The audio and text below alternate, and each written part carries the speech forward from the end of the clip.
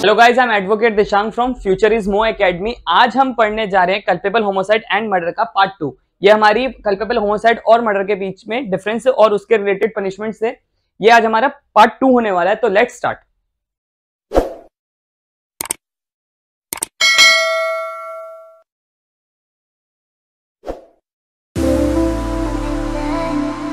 देखिए, हमने first part में पढ़ा था कि मर्डर के एक्सेप्शंस होते हैं।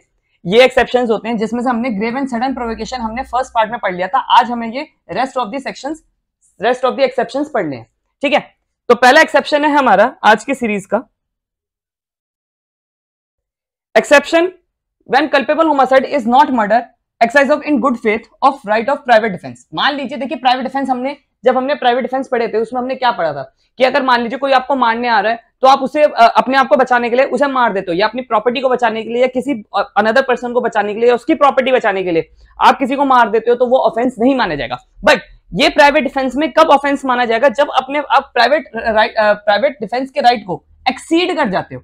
जैसे कि आपको एक एग्ज़ाम्पल से समझाऊं। ये ए है, ये मुझे मारने आ रहा था, यानी कि मुझे मारने आ रहा था तो ये जब मुझे मारने आ ही रहा था तो मैंने इसे क्या करा? इसे शूट कर दिया। यानी कि इसे गोली मार दी। अब क्या हुआ कि जब मैंने इसे गोली मारी, और ये मुझे जब मारने आ रहा था, इसके हाथ में ना कोई ऐसा वेपन था जिससे मुझे कोई डेथ कॉज हो सकती थी या कुछ ऐसा होना था। तो यहाँ पर मैंने क्या करा, अपने प्राइवेट डिफेंस को एक्सीड कर दिया। तो यहाँ पर मुझे, मेरा ये जो एक्ट माना गया, मैंने जो उसे मार दिया और वो उसकी वजह से मर गया तो ये क्या माना गया? आपका कल्पेबल होमोसाइड माना गया। मैं वही लाइन दोबारा रिपीट कर रहा हूँ कि जो मर्डर के एक्सेप्शन होते हैं, वही आपका कल्पेबल होमोसाइड में माने जाते हैं, आपका कल्पेबल होमोसाइड माने जाके, वो मर्डर नहीं माने जाते। ठीक है तो यहाँ पर क्या करा, उसने अपने राइट को एक्सटेंड कर दिया, जिसके से वो मर गया। अब आपको, मैं इसे एग्ज़ाम्पल के थ्रू समझाता हूँ। जैसे कि एक केस था, इस केस में क्या हुआ था Nathan versus state of Madras इसमें क्या हुआ था कि जो अक्यूज था, वो फोर्सिवली उसके लैंड में घुस जाता है, ठीक है, यानी कि एक लैंडलॉर्ड होता है, वो अपने टेनेंट की प्रॉपर्टी में घुस जाता है, यानी कि अपनी प्रॉपर्टी में घुसता है, चाहे कुछ भी रीजन रहता है, वो उसके फोर्सफुली घुस जाता है। वो अपनी जो वहाँ का टेनेंट होता है जो अक्यूज होता है, वो अपनी प्रॉपर्टी को बचाने के लिए वो डिसीज को मार देता है, यानी कि इस पर्सन को, एक पर्सन को मार देता है। और वो ये डिफेंस लेता है कि मैं अपनी प्रॉपर्टी को बचाने के लिए उसको मार रहा था, और वो फोर्स फोर्सफुली घुस रहा था। तो कोर्ट क्या प्रेज्यूम करती है कि that person was not arm यानी कि जो मरने वाला आदमी था, उसके हाथ में कोई ऐसा वेपन नहीं था, जिसकी वजह से डेथ कॉज हो सकती है। जैसे मान लीजिए ये मेरी प्रॉपर्टी है, ठीक है? इस मेरी प्रॉपर्टी में कोई पर्सन एंटर करने की कोशिश कर रहा है फोर्सफुली अब मैं क्या करता हूँ, इसे मार देता हूँ। कोर्ट, ये देखती है क्या इस जो मेरी प्रॉपर्टी में घुसने की कोशिश कर रहा था, इसके पास कोई ऐसा वेपन था जिसके वजह से मुझे खतरा था कि मुझे मार ही देता। जैसे मान लीजिए कोई मुझे हाथ से मारने आ रहा है, मैं उसको आपका चक्कू से स्टेप कर देता हूँ या नाइफ से स्टेप कर देता हूँ तो ये क्या कर रहा हूँ मैं? प्राइवेट डिफेंस को एक्सटेंड कर रहा हूँ अपने, ठीक है? तो यहाँ पर ये मेरा जो एक्ट माना गया, वो कल्पेबल होमोसाइड माना गया मर्डर नहीं माना गया। तो यहाँ पर कोर्ट ने क्या माना कि जो डिसीज था, जो मरने वाला आदमी था, उसको वो अनआर्म था, यानी कि उसके पास हथियार नहीं था। इसलिए because that act was in good faith or without the intention caused death, the accused death sentence was communicated to life imprisonment. अब यहाँ पर क्या हुआ कि as a result the accused right of private defence violated and the case of a classified culpable as not amounting to murder under exception 2 of Indian Penal Code.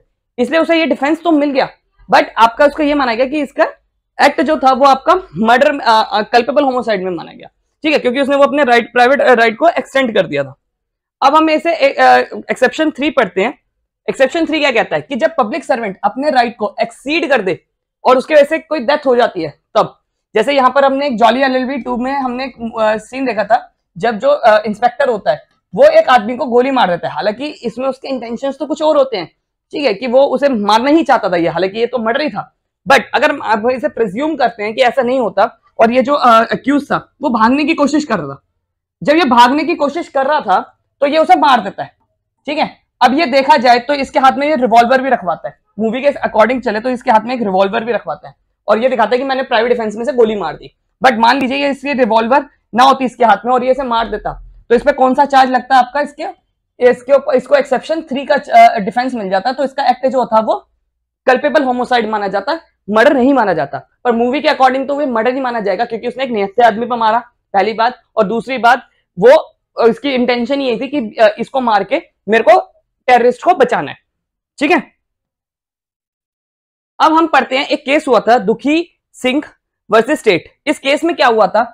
एक जो railway RPF का, यानी कि जो आरपीएफ होती है railway police railway protection force railway में अलग तरीके की पुलिस होती है, अलग चीज़ चलती है। ठीक है? रेलवे की अपनी पुलिस होती है। अब रेलवे पुलिस वाला क्या करता है? एक आदमी को पकड़ता है, उसे शूट कर देता है। ठीक है? ये आदमी जो था, जैसे मान लीजिए हम इसे मान लेते हैं बी आदमी था।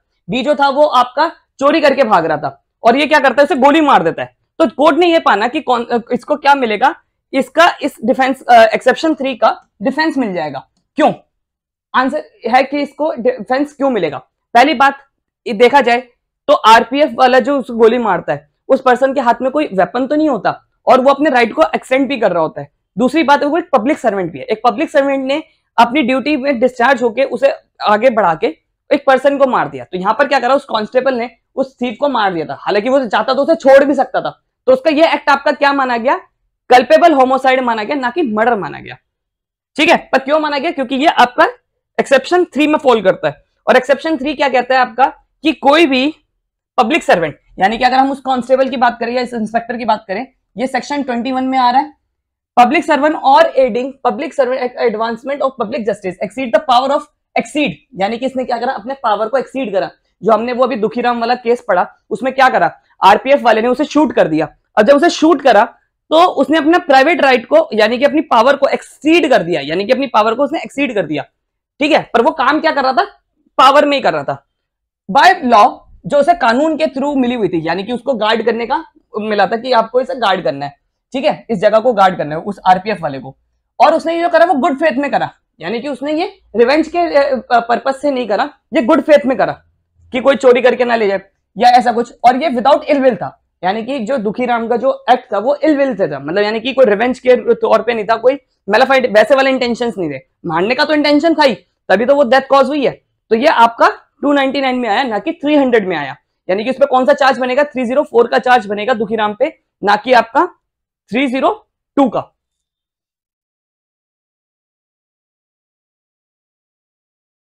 अब आते हैं हम आपका एक्सेप्शन फोर पे। एक्सेप्शन फोर की बात करें तो यह ये कह रहा है कि कोई भी अगर सडन फाइट हो जाती है, देखिए इसमें सबसे इंपॉर्टेंट क्या है, कोई फाइट होनी चाहिए सडन होनी चाहिए। जैसे कि आपको मैं इसे एग्जांपल के थ्रू समझाता हूँ। ये एक पद्मावत मूवी में सीन था जिसमें जो खिलजी और राजा रवल सिंह होते हैं, दोनों लड़ाई कर रहे होते हैं। अब हम इसमें अप्लाई करते हैं कि ये सडन फाइट थी। अगर इसमें, अगर कोई एक दूसरे को मार देता है तो क्या होगा? जैसे मान लीजिए ये खिलजी था, ठीक है, और ये राजा रवल सिंह थे। अब ये क्या नहीं चाहिए जो दोनों की फाइट होनी चाहिए, पहली बात तो ये सडन होनी चाहिए। सडन का मतलब एकदम से होनी चाहिए प्री डिटरमाइन नहीं होनी चाहिए। यानी कि आज मैं सोच के जा रहा हूँ, आज सोच मैं मार ही दूँगा। और मैं जाके उसे मार ही देता हूँ। तो ये सडन फाइट में नहीं आएगा। ये आपका क्या आएगा? सडन फाइट होती है। जैसे आपने देखा होगा रोड रेज में भी देखा होगा, एक दूसरे को बाहर निकलते हैं और दोनों को एक दूसरे को मारने लग जाते हैं। तो सडन फाइट में आना ज़रूरी है। पहला पैसा, पहला इंग्रेडिएंट क्या है कि कोई भी एक्सेप्शन में फॉल करने के लिए सडन फाइट होनी चाहिए। सडन फाइट है हाँ थी सडन फाइट थी। प्री डिटर प्री मीडिएट तो नहीं थी। प्री मीडिएट का मतलब पहले सोचा, समझी तो नहीं थी? नहीं। पहले सोचा, समझी भी नहीं थी। In the heat of passion हुई, यानी कि हीट ऑफ़ पैशन में, यानी कि सडन क्वारल में, एकदम से हाँ भाई, गाली दी और एकदम से ऐसे सडन फाइट में हुआ। एक्सचेंज ऑफ़ इंजरीज भी होना बहुत ज़रूरी है। सबसे मोस्ट इंपॉर्टेंट है कि एक दूसरे को इन्होंने कोई इंजरी भी दी हो। मान लो मेरी एक किसी से लड़ाई हो रही है, वो मुझे मार भी नहीं रहा। मैं उसे मारता चला जा रहा हूँ, मारता चला जा रहा हूँ, मारता चला जा रहा हूँ। तो ये क्या सडन फाइट में आएगा? आंसर इज़ नो ये सडन फाइट में नहीं आएगा। ठीक है, जैसे मान लीजिए, अब मैं आपको इसमें एग्ज़ाम्पल में बताता हूँ फ़ोटो में ठीक है। जैसे ये खिलजी था ये दोनों थे। इनकी सडन फाइट थी। हाँ बिल्कुल थी सडन फाइट थी। और दोनों का पहले प्री प्री प्री मीडिएट भी नहीं था कि मैं मार दूँगा या ऐसे कर दूँगा। प्लानिंग करने का टाइम नहीं था। ठीक है? हीट ऑफ़ द मूवमेंट पे भी हुआ, बिल्कुल। और एक दूसरे को इंजरीज भी देख रहे देख रहे ना, ये एक दूसरे को तलवार से मार रहे हैं। तो ये इनका दोनों का एक्ट आपका माना गया। अब मान लीजिए इसमें जो है, राजा रवल सिंह जो है, वो खिलजी को मार ही देते हैं। ठीक है? एग्ज़ाम्पल के तौर पर समझते हैं।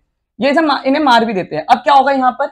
इन्हें कौन सा डिफेंस मिल जाएगा? इंडियन आईपीसी के तहत आईपीसी के तहत इन्हें, इनका जो एक्ट माना गया, वो आपका मर्डर का नहीं माना गया। इनका एक्ट कल्पेबल होमोसाइड माना गया। क्यों? क्योंकि इन्हें ये डिफेंस मिल जाएगा, ये सडन फाइट में एक्सेप्शन फोर में फॉल कर रहा है मर्डर के। तो ये इनका एक्ट क्या माना गया? कल्पेबल होमोसाइड माना गया मर्डर नहीं माना गया। मैं दोबारा वो लाइन रिपीट करूँगा, जो मर्डर के एक्सेप्शन है, वही आपका कल्पेबल होमोसाइड है। अब एक केस हुआ था, इस केस में क्या था? एक क्वेरल एक लड़ाई होती है had broken out the sudden suddenly between the accused and deceased deceased मतलब जो मरने वाला आदमी होता है, उसको कहा जाता है deceased how it there was a no sudden fight मतलब यानी कि इसमें माना गया कि ये एक तो पहली बात तो सडन फाइट नहीं थी. यानी कि जो ए है और डी है, यानी कि डिसीज इन दोनों में जो फाइट हुई थी, ये सडन नहीं थी. यानी कि एकदम से नहीं हुई. और and no exchange of blows यानी कि ए तो मार रहा था डी नहीं मार रहा था. डिसीज उसे नहीं मार रहा था. ठीक है? थ्री फेटल इंजरीज मार दी थी. ए ने जो इसको इंजरी दी है, वो तीन ऐसी इंजरी थी जिससे कोई इंसान मर सकता है. और सबसे बड़ी बात ऑन द अनआर्म्ड एक्यूज और sorry accused on the unarmed deceased यानी कि डिसीज जो था, वो अनआर्म था। यानी कि उसके पास कोई वेपन नहीं था। जैसे कि आपको मैं एग्जांपल पुराने वाले एग्जांपल में समझाऊं तो यहाँ पर क्या हुआ था कि जो राजा रवल सिंह थे और खिलजी थे, उनके पास, दोनों के पास तलवारें थी। बट इस वाले, हम जजमेंट के हिसाब से चले तो इन दोनों के इनमें से एक्यूज के पास तो कुछ वेपन था बट डी के पास कोई वेपन नहीं था। यानी कि डिसीज के पास कोई वेपन नहीं था। तो ये सडन फाइट में नहीं माना जाएगा। तो इसलिए यह माना गया कि इसमें उनको आपका एक्सेप्शन का बेनिफिट नहीं मिलेगा एक्यूज को, क्योंकि और ये उसका एक्ट आपका सडन फाइट के अंडर नहीं फॉल करता है। इसलिए एक्यूज का एक्ट क्या माना गया? मर्डर माना गया, ना कि आपका सडन फाइट में माना गया और कल्पेबल होमोसाइड नहीं माना गया। अब आते हैं हम एक्सेप्शन फाइव पे। एक्सेप्शन फाइव क्या कहता है?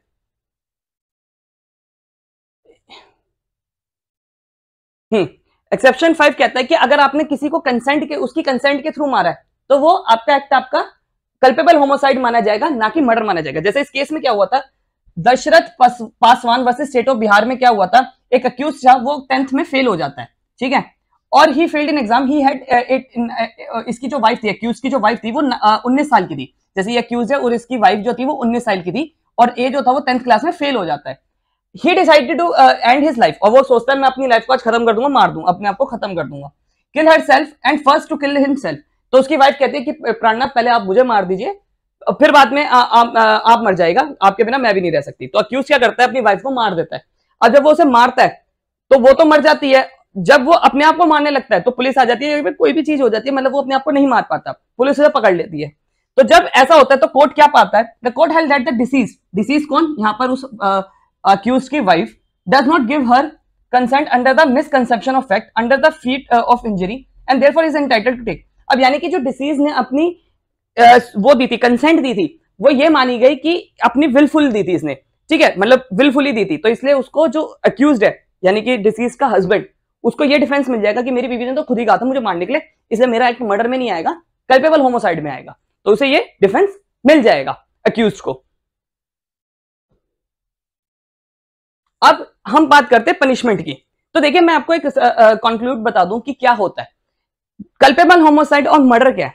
आपका अगर एक लाइन में आंसर दिया जाए तो कल्पेबल होमोसाइड आपका वही माना जाएगा जो मर्डर के एक्सेप्शन है। जो मर्डर के एक्सेप्शन है, वही कल्पेबल होमोसाइड माना जाएगा। पाँच एक्सेप्शन है, पहला है प्राइवेट डिफेंस दूसरा है ग्रेव एंड सडन प्रोवोकेशन तीसरा है आपका प्राइवेट पब्लिक सर्वेंट अपनी पावर को जब एक्सीड कर जाता है, चौथा है आपका कंसेंट और पांचवा है आपका कि जब आपका वो कोई एक्ट आपका प्राइवेट डिफेंस को एक्सीड हो जाता है। तो ये आपके पाँच एक्ट माने गए। अब आपका ये पनिशमेंट की बात करी जाए। तो 302 बात करता है आपका 30 की, यानी कि मर्डर की। ठीक है? 300 में आपकी डेफिनेशन है 302 में पनिशमेंट है। अब कितनी मर्डर में कितनी पनिशमेंट है? डेथ तक है, यानी कि हाईएस्ट है। ठीक है? Death imprisonment for life and fine अब आप अगर देखा जाए, अगर मान लीजिए कोर्ट में किसी का एक्ट इन पाँच एक्ट में फॉल कर जाता है, पाँच एक्सेप्शन मर्डर के पाँच एक्सेप्शन में फॉल कर जाता है तो उसका क्या माना जाएगा? उसको सीधा पनिशमेंट मर्डर से सीधा यहाँ, जहाँ उसे डेथ की खतरा था कि डेथ पनिशमेंट भी मिल सकती है, उसे क्या मिल जाएगी? आपका लाइफ इंप्रिजमेंट की सजा या ज़्यादा से ज़्यादा दस साल तक की सजा मिल जाएगी। ठीक है? इतनी उसे सजा मिल जाएगी। बट आपको एक चीज़ बताऊँ कि जो डेथ की वो होती है पनिशमेंट होती है वो आपका रेयरेस्ट ऑफ़ रेयर केसेस में देखा जाता है।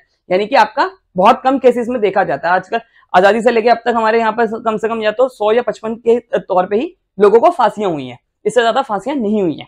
ठीक है? तो मतलब बहुत कम है, पर आप ये देखिए ना कि जहाँ आपका एक आपका डेथ तक की पेनल्टी है, वहाँ पर आपका, अगर कल्पेबल होमोसाइड वो प्रूफ हो जाता है तो सिंपल ज़्यादा से ज़्यादा लाइफ इंप्रिजमेंट की सजा मिलेगी, वरना टेन ईयर्स अब बात करते हैं हम 301 301 में आपको समझने से पहले एक चीज़ बताता हूँ, एक मूवी का एग्जांपल देता हूँ, जैसे कि ये थी के जी एफ़ टू आई थी। के जी एफ़ टू में क्या होता है जब वो इस मूवी की एक्ट्रेस अपने हस्बैंड को बताती है कि मैं प्रेग्नेंट हूँ और तो क्या होता उसी वक्त आपका संजय दत्त गोली मार देता है। वो गोली मारना चाहता था रॉकी को मूवी के हीरो को, पर गोली लग जाती है हीरोइन को। तो यहाँ पर क्या होता है कि मारना वो इसको चाहता था, पर मर वो ये गई। तो ये उसका एक्ट माना गया 301 में माना गया। ठीक है? मतलब इसका सिंपल सी बात मानी जाए कि मैं मारना किसी और को चाहता था, मर कोई और गया। तो यहाँ पर क्या हुआ, ये 301 में चार्ज करेगा। ठीक है? आपको ये समझ आ गया होगा तो और सबसे बड़ी बात संजय दत्त का ये एक्ट आपका क्या माना गया? संजय दत्त का ये एक्ट माना गया कल्पेबल होमोसाइड माना गया, ना कि मर्डर माना गया। अब इसके डेफिनेशन को पढ़ते हैं, इसका पूरा एक अलग से सेक्शन बना रखा है। अब हम पढ़ते हैं 301 को। 301 क्या कहता है? Culpable homicide by causing death of person other than person whose death यानी कि मानना वो ए को चाहता था, मर बी गया। ठीक है? सी मानना ए को चाहता था, मर बी गया। ठीक है?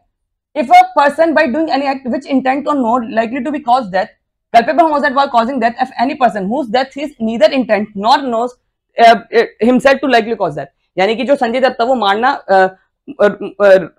रॉकी को चाहता था मर आपका एक्ट्रेस गई। तो यहाँ पर क्या था उसकी इंटेंशन उसको मारने की थी ना कि उसको मारने की थी एक्ट्रेस को। तो उसको क्या होगा इसे हम कहते हैं ट्रांसफ़र ऑफ़ मेलिस ये डॉक्ट्राइन डॉक्ट्राइन होती है मेलिस अभी हम पढ़ते हैं उसमें डॉक्ट्राइन में क्या होता है।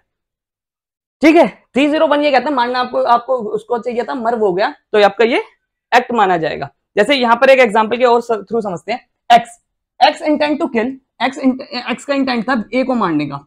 ठीक है? पर इंस्टेड ऑफ़ ए मर भी जाता है बेचारा। ठीक है? Had no intention to kill under the doctrine of X which doctrine इसे कहते हैं डॉक्ट्राइन ट्रांसफ़र ऑफ़ मेलिस और doctrine transfer of malice transfer of malice किसमें दे रखी है आपका? 301 में दे रखी है। यानी कि मानना वो ए को चाहता था, मर भी गया। तो यहाँ पर क्या हुआ? उसे 301 की पनिशमेंट मिलेगी। जो उसका एक्ट आपका ये माना जाता है कि आप ये कल्पेबल होमोसाइड माना जाएगा। ये एक और चीज़ आपकी है आई होप आपको मेरी वीडियो पसंद आ रही हो। अगर आपको मेरी वीडियो पसंद आ रही है तो चैनल को सब्सक्राइब करिए। साथ ही साथ में don't forget to ring the bell icon और अगर आपको हमारे नोट्स के पीडीएफ फॉर्म चाहिए तो आप हमें फॉलो कर सकते हैं इंस्टाग्राम टेलीग्राम एंड फेसबुक पे। Thank you thank you so much